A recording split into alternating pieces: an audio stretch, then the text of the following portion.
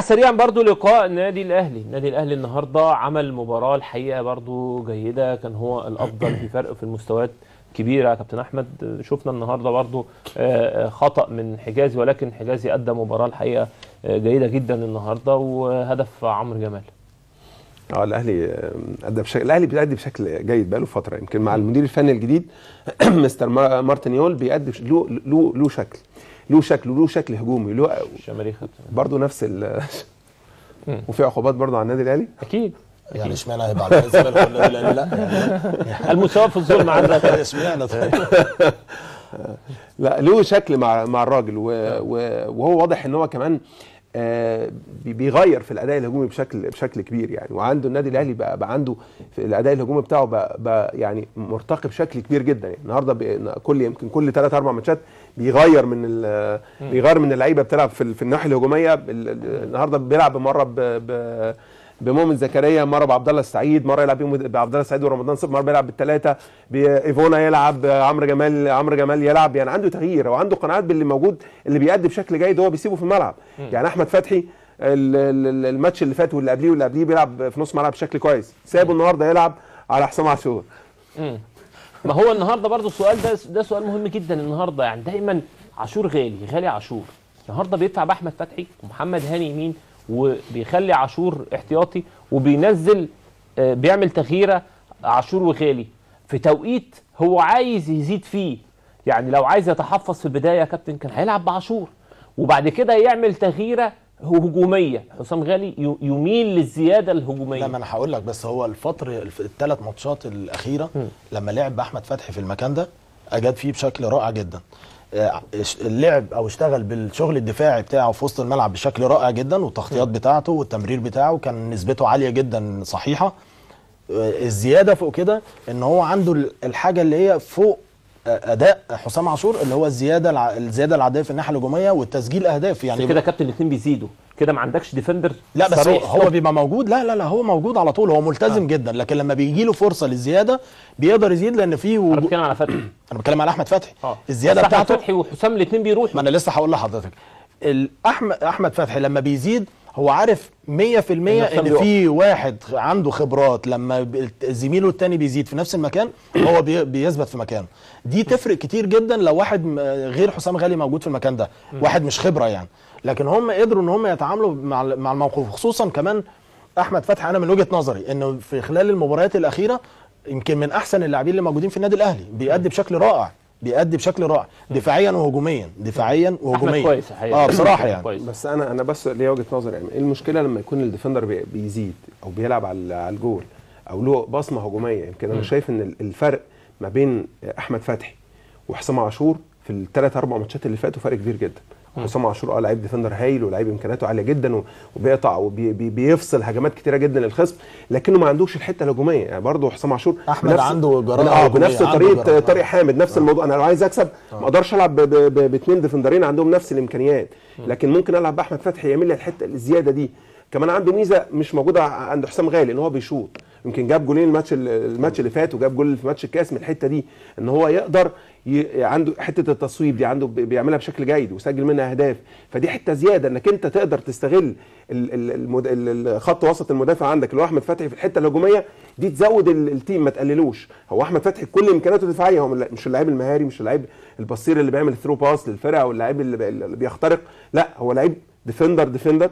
بيعمل بيأدي تقدر تلعب كده يا. كابتن في الدوري المصري لكن ما تقدرش تلعب كده في أفريقيا أو قدام فريق آه، آه، شمال أفريقيا فريق الفرق اللي عندها سرعات ما تقدرش تلعب كده ما لا، تقدرش في تلعب باثنين رايحين. لا، في يعني لازم عشان تمسك نص الملعب. هو أحمد مش رايح أحمد فتحي. إحنا لكنه بي... بي... إحنا لسه بيعمل دي. إحنا على فكرة إحنا إحنا إحنا متفقين جدا إن أحمد فتحي عالي. يعني دي حاجة الحقيقة أحمد فتحي عالي جدا اللقاءات اللي فاتت وبيأدي بشكل جيد جدا. ولكن النهارده دايما في النادي الأهلي عشان تمسك نص الملعب في وجود حسام عاشور أو في وجود واحد معاك. واقف في وجود حسام غالي بيروح حسام غالي بيروح حسام غالي في أوقات بيعمل حاجات هو الوحيد اللي فاهمها أنا معاك في. النقطة دي أنا معاك آه يعني. ف... فلازم اللي, عينه عشان تعتمد إن أحمد يروح حسام يغطي من وراه أنا معاك في دي بس صعبة. هل ممكن نرجع إن يكون آه، آه، الجهاز الفني عارف القدرات الفرقة اللي قدامه فادى فرصة أكتر إن يبقى في الناحيه الهجومية تبقى زيادة شوية ممكن أكيد هو الراجل آه شايف لا يعني اللي أنت حضرتك بتقوله يعني لو لو النادي الأهلي بيلعب قدام الوداد بجاء النهارده آه. مش كانش هيلعب بالشكل ده. كان ممكن يلعب بحسام عاشوري هو اللي يثبت في الحتة دي لأن هم عندهم طبعا. إن هم طبعا. طب أنا هقول لحضرتك حاجة. أنا النهارده مثلا مش عارف كابتن أحمد برضه تتفق معايا ولا تختلف النهارده يبتدي بإيفونا ولا يبتدي بعمرو جمال؟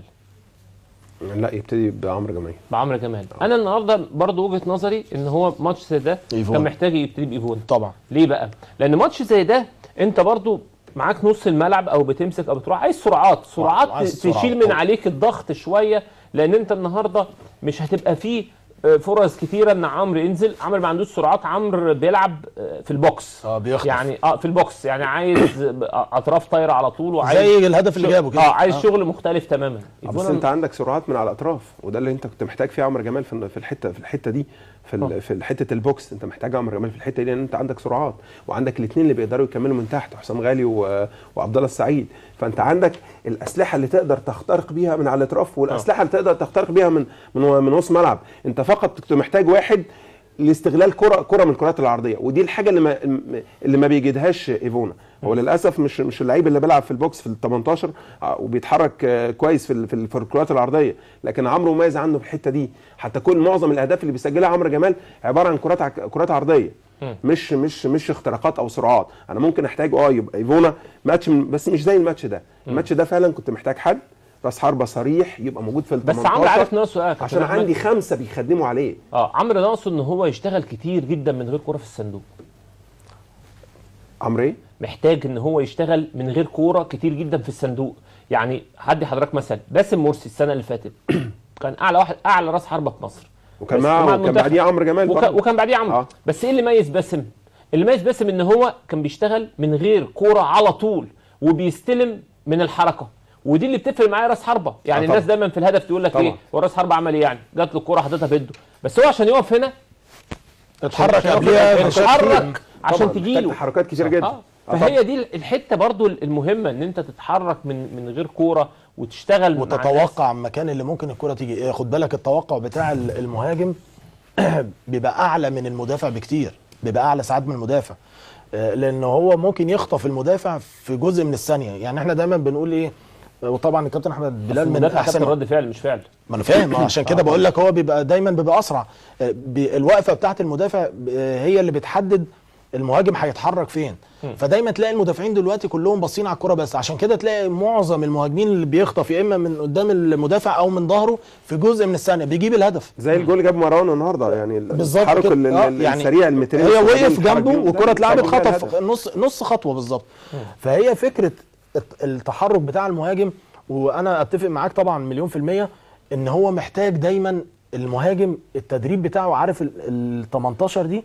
هي دي ال- الجزء بتاعه. زي ما دي الجزء بتاع حارس المرمى دي المنطقة دي بتاعت المهاجم اللي هو المهاجم اللي إحنا بنقول عليه مهاجم صريح.